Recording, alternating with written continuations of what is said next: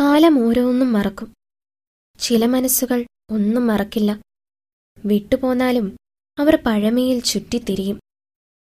അങ്ങനെയൊരു ജീവിതത്തിലേക്കുള്ള നടപ്പാണിത്.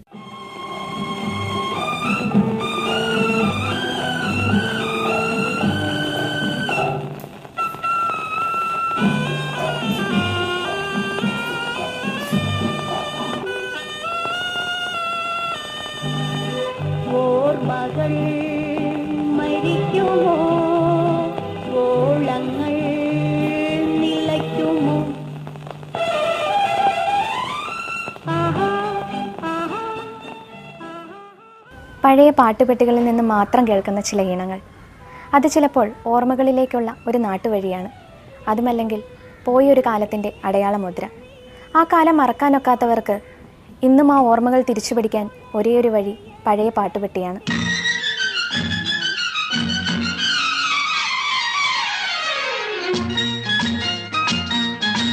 आज से पहले आज से ज्यादा ഈ വസ്തുക്കളോടുള്ള ഒരു കമ്പം തോന്നി തുടങ്ങിയത് ഒരു ഏഴാം ക്ലാസ്സിൽ പഠിക്കുന്ന സമയത്താണെന്ന് പറയാം. അതിന്റെ കാരണം എന്താണെന്ന് വെച്ച് കഴിഞ്ഞാൽ ഞങ്ങൾ വാടകയ്ക്ക് താമസിച്ചിരുന്ന വീടിന്റെ സമീപത്ത് വേറൊരു കൂട്ടർ താമസിച്ചിരുന്ന. അവർ സാമ്പത്തികമായിട്ട് ഇത്തിരി ബെറ്റർ ആയിട്ടുള്ള അവസ്ഥയിലുള്ള ആൾക്കാരായിരുന്നു. അവിടെ റേഡിയോ ഉണ്ടായിരുന്നു. അപ്പോൾ അവിടെ നിന്ന് ഇങ്ങനെ പാട്ടുകൾ കേൾക്കും. പക്ഷേ ഈ പാട്ട് എവിടെ നിന്ന് വരുന്നെന്നോ എങ്ങനെ വരുന്നെന്നോ ഒന്നും അറിയത്തില്ല. അപ്പോൾ ഒരു കൗതുകത്തിന്റെ പുറത്ത് ഒരു ദിവസം ഞാൻ അദ്ദേഹത്തോട് പറഞ്ഞു എനിക്ക് ആ റേഡിയോ ഒന്ന് കാണണം അതിലെ പാട്ടൊന്ന് കേൾക്കണമെന്ന് പറഞ്ഞപ്പോൾ അങ്ങേരെ എന്നെ വീട്ടിലേക്ക് വിളിച്ചുകൊണ്ട് പോയി. അപ്പോൾ ഒരു അലമാരിയുടെ മുകളിൽ ഒരു ചെറിയ ഒരു റേഡിയോ ഇരിപ്പുണ്ട്. അപ്പോൾ അങ്ങേര് പറഞ്ഞു വാൽവ് റേഡിയോ ആണ്. ഓൺ ചെയ്തു. അപ്പോൾ ആ ഡയലിൽ ലൈറ്റൊക്കെ കത്തി. പക്ഷേ പാട്ടൊന്നും വന്നില്ല. അപ്പോൾ അങ്ങേര് പറഞ്ഞു ഇത് ചൂടാകണം. അപ്പോൾ ചൂടാകണം എന്ന് പറഞ്ഞപ്പോഴത്തേക്ക് എനിക്കതങ്ങോട്ട് ഉൾക്കൊള്ളാൻ പറ്റുന്നില്ല. ഇതെന്തരാണ് ഇതിനകത്ത് ചൂടാകാനുള്ളത്? നമ്മൾ ചൂടാകുമ്പോൾ കാണുന്നത് വെള്ളം തിളയ്ക്കും അരി അരി വേവും ഇതൊക്കെ കണ്ടിട്ടുള്ളൂ പക്ഷേ അങ്ങേരും അത് കൂടുതലൊന്നും വിശദീകരിച്ചില്ല. ആദ്യം നിന്ന് പാട്ടൊന്നും വന്നുമില്ല ഒരു ചെറിയ പൊട്ടലും ചീറ്റലും ഒക്കെ വന്നപ്പോൾ അങ്ങേര് പറഞ്ഞു സ്റ്റേഷനെല്ലാം തീർന്നു. ഇനി ഉച്ചയായിട്ട് ഇതിനകത്ത് എന്തെങ്കിലും നമുക്ക് കേൾക്കാൻ പറ്റുള്ളൂ. ഇത്രയും കഴിഞ്ഞ് ഞാനിങ്ങ് പോരുകയും ചെയ്തു. ബാലചന്ദ്രൻ ഗ്രാമീണനും നഗരവാസിയുമായ ഒരു സർക്കാർ ജീവനക്കാരനാണ് സമൂഹജീവി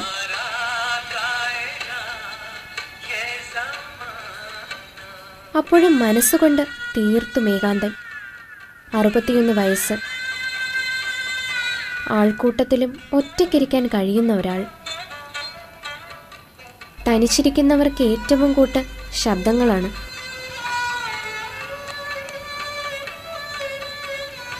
ആ ശബ്ദ സൗഹൃദം ചിലപ്പോൾ അവർ പോലും അറിയാതെ സംഭവിക്കും. പതിനൊന്ന് വർഷങ്ങൾക്ക് മുൻപ് ബാലചന്ദ്രൻ പഴയ പാട്ടുപെട്ടികൾ ശേഖരിക്കാൻ ആരംഭിച്ചു. പക്ഷേ പാട്ടുപെട്ടികൾ തനിക്ക് ഓർമ്മകളിലേക്കുള്ള വഴിയാണോ എന്നതിന് ബാലചന്ദ്രന്റെ ഉത്തരം നിശബ്ദതയാണ്.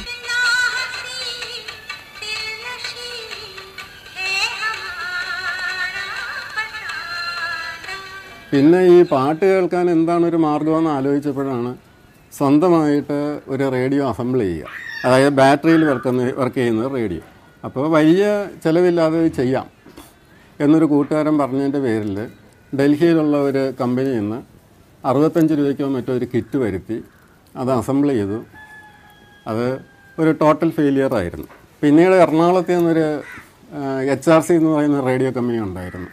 അവരുടെ അടുക്കൽ ചെന്ന് ഒരു കിറ്റ് വാങ്ങി ഒരു ക്യാബിനറ്റൊക്കെ വാങ്ങി കുറച്ചുകൂടെ വിപുലമായ രീതിയിലൊരു ട്രാൻസിസ്റ്റർ റേഡിയോ അസംബിൾ ചെയ്തു. അതാണ് വീട്ടിലെ ആദ്യത്തെ ഒരു പാട്ട് കേൾക്കാൻ ഉപയോഗിച്ച റേഡിയോ.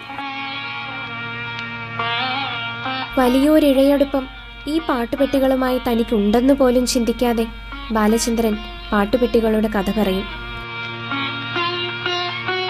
അതിന്റെ ചരിത്രം ആസ്വാദനം ആ ഉപകരണത്തിന്റെ പ്രവർത്തന രീതി ഓരോന്നും മനസ്സിന് കാണാപ്പാഠമാണ്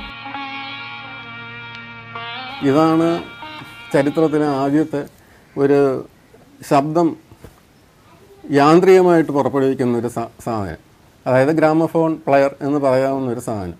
ഇതിനെ നാടൻ ഭാഷയിൽ കോളാമ്പി പെട്ടി എന്നൊക്കെ ഇങ്ങനെ ആൾക്കാർ പറയും. ഇത് നൂറ് ശതമാനവും മെക്കാനിക്കലാണ് അതായത് ഇലക്ട്രിസിറ്റിയുടെ ആവശ്യമില്ല. നമ്മൾ ക്ലോക്കിന്റെ സ്പ്രിങ് വൈൻഡ് ചെയ്യുന്ന പോലെ ഒരു സ്പ്രിങ് വൈൻഡ് ചെയ്യുമ്പോൾ അതിന്റെ എനർജി അതിന്റെ സ്റ്റാറ്റിക് എനർജിയാണ് ഈ പ്ലേറ്റിനെ കറക്കാൻ വേണ്ടി ഉപയോഗിക്കുന്നത്. അതിന്റെ സൗണ്ട് വരുന്നതും തീർത്തും മെക്കാനിക്കലായിട്ടുള്ള ഒരു സൗണ്ട് ബോക്സിൽ കൂടെയാണ്. അതിനെ അല്പസ്വല്പം കനത്തിൽ കേൾപ്പിക്കുക എന്നുള്ളതാണ് ഈ കോളാമ്പിയുടെ ഫങ്ഷൻ പിന്നെ അക്കാലത്ത് തന്നെ നിലവിലുണ്ടായിരുന്നതാണ് ഈ സ്പൂൾ ടൈപ്പ് ടൈപ്പ് റെക്കോർഡറുകൾ ഇതിന്റെ വിലയെപ്പറ്റി പറയാതിരിക്കുകയാണ് നല്ലത്. കാരണം ഇത് ഇന്ത്യയിൽ ഉണ്ടാക്കുന്നുണ്ടായിരുന്നില്ല. മിക്കവാറും ഇതെല്ലാം വെളിയിൽ നിന്ന് കൊണ്ടുവരുന്നതാണ്. ഈ ഇരിക്കുന്നത് തന്നെ ഒരു ജർമ്മൻ സെറ്റാണ് ഇതിന് ഈ ആയിരത്തി തൊള്ളായിരത്തി അമ്പത് അറുപത് കാലഘട്ടത്തിൽ തന്നെ ആയിരക്കണക്കിന് രൂപയാണ് വില. ആകാശഗംഗയുടെ കരയിൽ അശോകവനിയിൽ ബാലചന്ദ്രൻ പാട്ടുപെട്ടിയെപ്പറ്റി സംസാരിക്കുമ്പോൾ അതിലൊരു കഥാപാത്രത്തെ പോലെ അലിഞ്ഞു ചേരാറില്ല. പകരം ഒരു കാഴ്ചക്കാരന്റെ യുക്തിഭദ്രത സൂക്ഷിക്കും. ഒട്ടും അടുപ്പമില്ലാത്ത ഏതോ ഒന്നിനെക്കുറിച്ചുള്ള ആധികാരികമായ വിവരണം പോലിരിക്കും. പാട്ടുപെട്ടിയുമായി ബാലചന്ദ്രൻ സൂക്ഷിക്കുന്നതും അത്രയും ദൃഢവും ദീർഘവുമായുള്ളൊരു ബന്ധമാണ്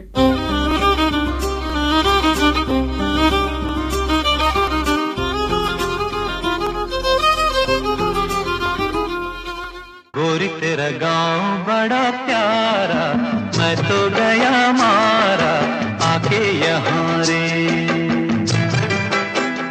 മലയാളിയുടെ ഇലക്ട്രോണിക് വിപ്ലവം ആരംഭിക്കുന്നത് തീർത്തും ഗ്രാമീണമായിട്ടാണ്. ഇന്നു കാണുന്ന മധ്യവർഗ ജനത അന്ന് സ്വപ്നത്തിൽ പോലുമില്ല.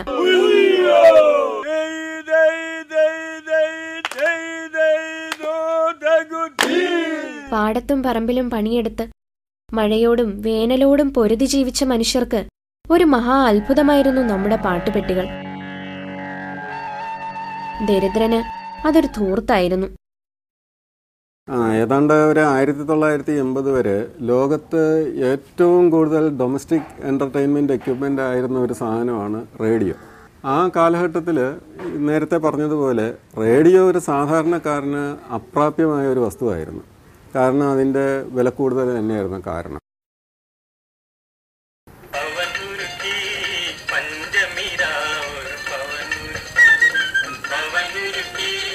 ഗ്രാമഫോണിൽ തുടങ്ങി.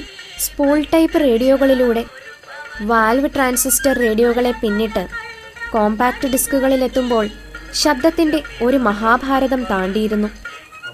അതിന്റെ വഴിയോരങ്ങളിൽ ഒരു കാലത്തിന്റെ സ്വപ്നാടനം പിന്നിട്ട് തൊട്ടാൽ പാടുന്ന അത്രയും സൗമ്യമായ കുറേ ഓർമ്മകളും ഉപകരണങ്ങളും ബാക്കി വന്നു. ബാലചന്ദ്രൻ അതിന്റെ കൂട്ടിരിപ്പുകാരനാണ്.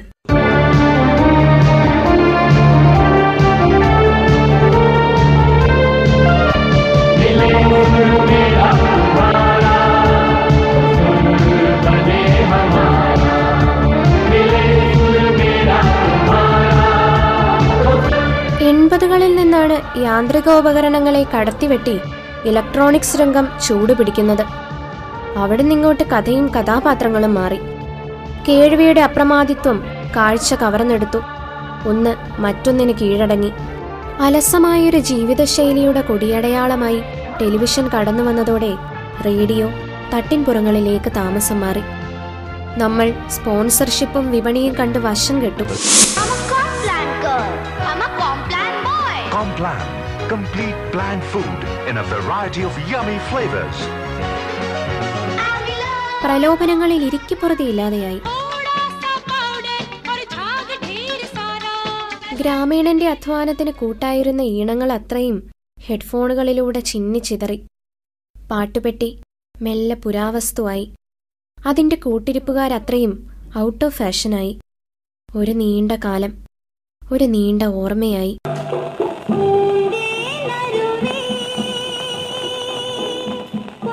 പാട്ടുപെട്ടിക്ക് ആയുസ് ഹ്രസ്വമായിരുന്നു. അതിനെക്കുറിച്ചുള്ള ഓർമ്മകൾ ദീർഘവും.